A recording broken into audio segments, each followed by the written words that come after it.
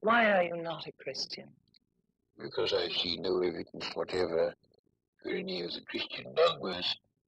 I've examined all the stock arguments in favor of the existence of God, and none of them seem to me to be logically valid.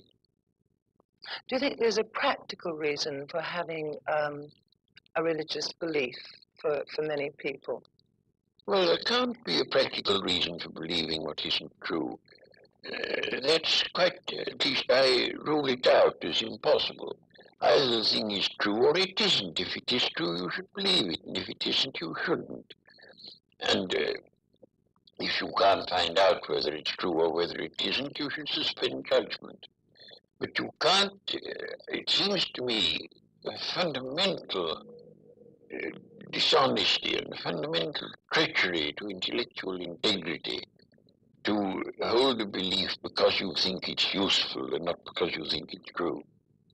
Well, I was thinking of those people who find that um, some kind of religious code helps them to live their lives. It gives them a very strict set of rules, the rights and the wrongs. Yes, but you know, those rules are generally quite mistaken.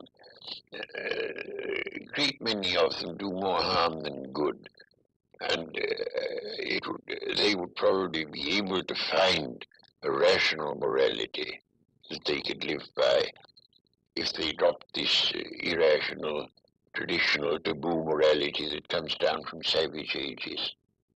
But are we, uh, perhaps, the ordinary person, perhaps isn't strong enough to find this own personal ethic?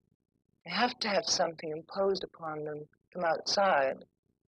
Oh, I don't think that's true. And what is imposed on you from outside is of no value whatever. It Doesn't count. Well, you were brought up, of course, as a Christian. When did you first decide that you did not want to remain a believer in the Christian ethic? I never decided that I didn't want to remain a believer. I decided between the ages of 15 and 18, I spent almost all my spare time thinking about Christian dogmas and uh, trying to find out whether there was any reason to believe them. And by the time I was 18, I discarded the last of them. Do you think that that gave you an extra strength in your life? Oh, I don't know. No, I shouldn't have said so. Neither, neither extra strength nor the opposite.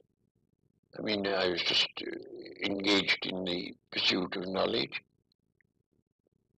As you um, approach the uh, end of life, do you have any fear of some kind of afterlife, or do you feel that that is just an No, no, I think that's nonsense. There is no afterlife. None whatever.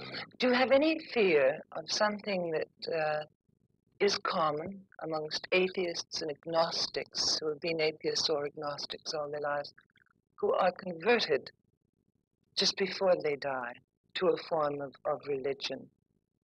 Well, you know, it doesn't happen nearly as often as religious people think it does.